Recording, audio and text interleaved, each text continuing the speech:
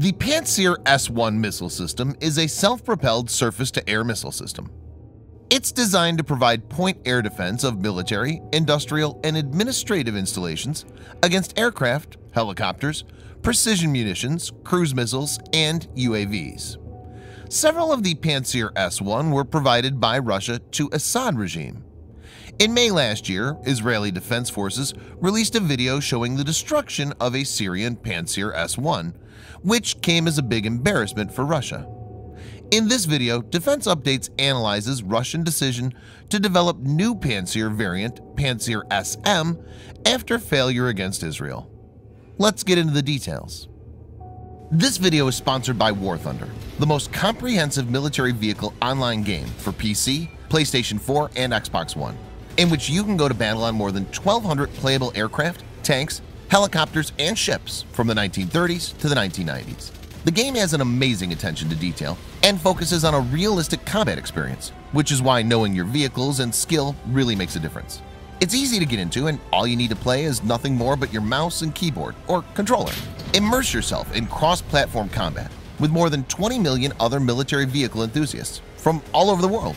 Download and play War Thunder for free using the link in the description below. And also get a free bonus tank or aircraft and 3 days of premium account.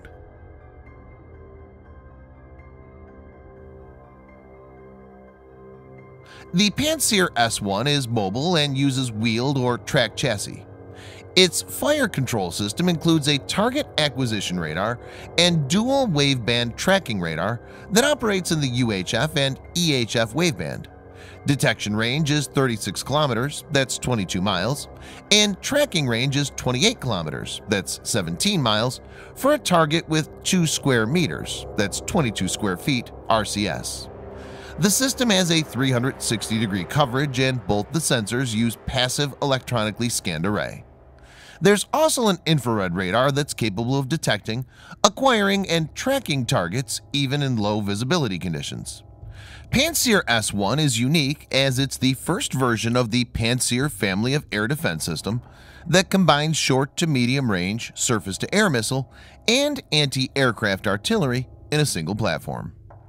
The surface-to-air missiles option is the 12 57E6 or 57E6E two-stage solid-fuel radio command guided missile. The missiles are arranged into two groups of six sealed, ready-to-launch container tubes on the turret. The missiles have a range of 20 kilometers or 12 miles, max speed of Mach 3.8, and carry a 20 kilogram high-explosive fragmentation warhead. Anti-aircraft artillery is the two dual 2A38M 30mm autocannon guns that are fitted with 700 rounds. The crew can choose the kind of ammunition depending on the nature of the target, which includes high explosive fragmentation or armor-piercing rounds. The maximum rate of fire is 2,500 rounds per minute per gun. The cannon has a range of up to 4 kilometers, 2.5 miles.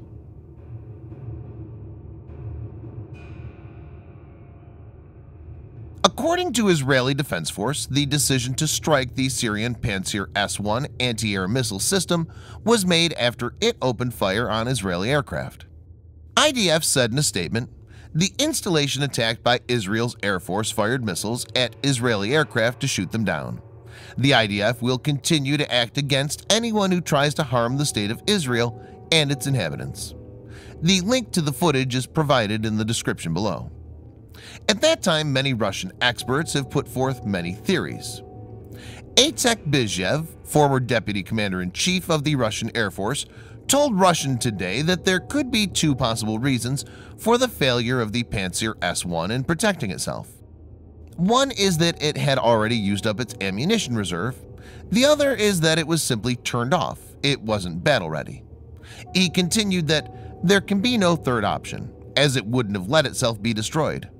When it's battle-ready, it performs constant surveillance of enemy aircraft and has a very fast reaction time.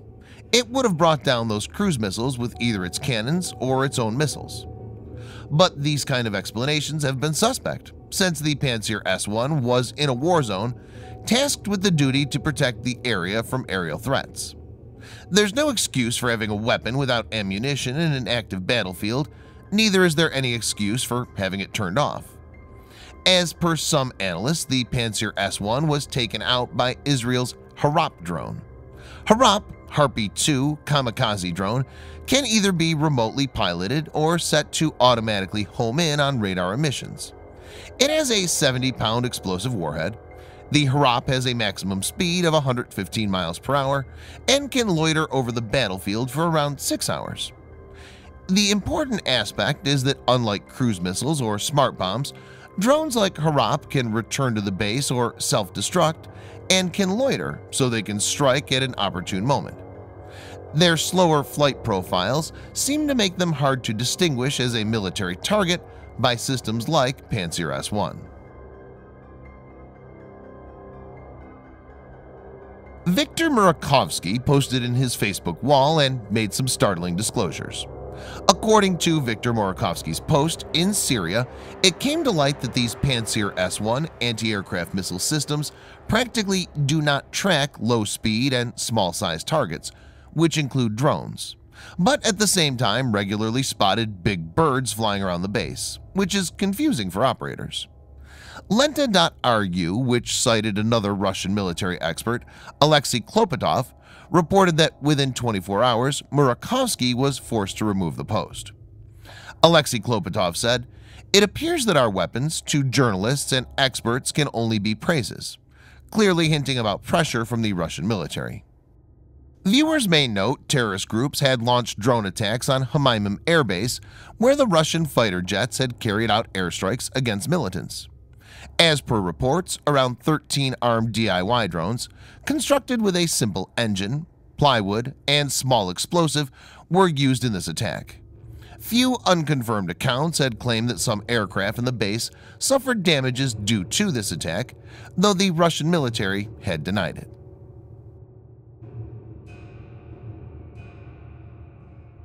The Pantsir SM variant incorporates a multifunctional targeting station, increasing target detection range to 75 kilometers or 47 miles, and engagement range to 40 kilometers or 25 miles. The system also uses a new high-speed extended-range missile, and existing Pantsir systems can be upgraded to SM standard. It's fitted to a new 8x8 KAMAZ truck chassis with an armored cab. Air Defense and Missile Defense Forces Deputy Commander Yuri Grekov said, the Pantsir SM showed its high efficiency against ultra-small targets. So basically, he's pointing towards small drones or quadcopter like Harop and recently developed Mini Harpy, as well as other very crude DIY drones. Israel's Air Force has been able to carry out airstrikes in spite of many different kinds of air defenses available to Syrian forces. Israeli warplanes have launched hundreds of strikes on targets in Syria with more than 2,000 missiles. Till now, only one Israeli F-16 has been lost when it was shot down in February 2018 by Russian-made S-200 surface-to-air missile. Many observers have believed that Israel's Air Force has used special tactics like electronic jamming and weapons to carry out the strikes so that it was able to circumvent the air defense systems to this extent. This is probably true to a large degree, but it's also true that the Russian Pantsir S-1 has been exposed badly and have inherent issues.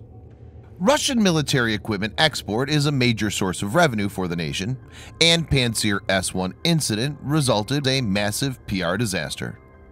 Pantsir SM is a step towards having a system that will be able to neutralize the emerging threats and restore confidence in Russian systems, especially the air defense systems. Thanks for watching. Subscribe for more videos like this. Hit the like button if you find the video interesting, and kindly provide your feedback in the comment section. This will help us improve.